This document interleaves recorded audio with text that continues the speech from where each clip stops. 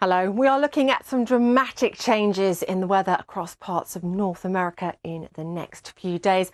We have one frontal system in the east that's going to cause some issues. This weather front slow moving, producing some quite large volumes of rain through the Ohio Valley and into the northeast Monday into Tuesday, maybe up to three inches of rain, 75 millimetres.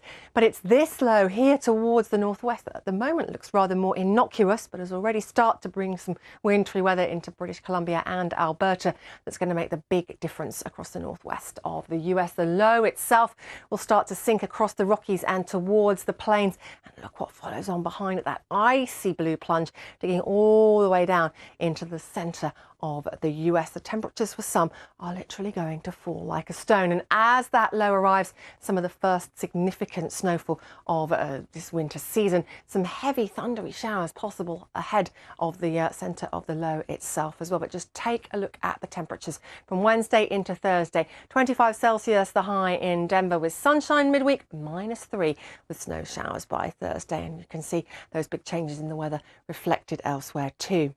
Let's head towards the Pacific now, where we're watching this area of low pressure closely. Obviously, not just an area of low pressure. This is Typhoon Hagibis, and it's continuing to intensify.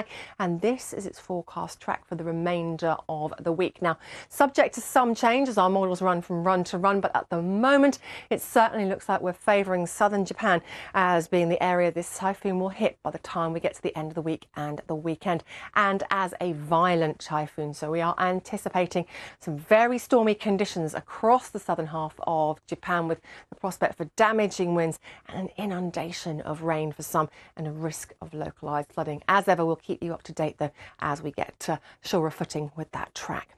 Heading closer to home now to Europe, low pressure in the northwest will keep things showery throughout the coming days.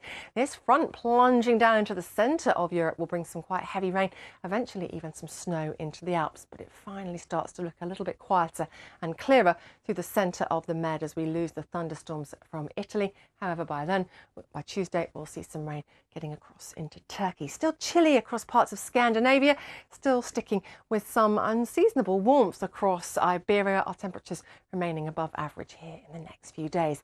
For Moscow and Helsinki, well, the temperature's creeping up a little as the days go by. It looks like the rain will keep coming down though, but for Athens, we do have plenty of sunshine in our outlook. For the northwest of Europe, though, the low always close by.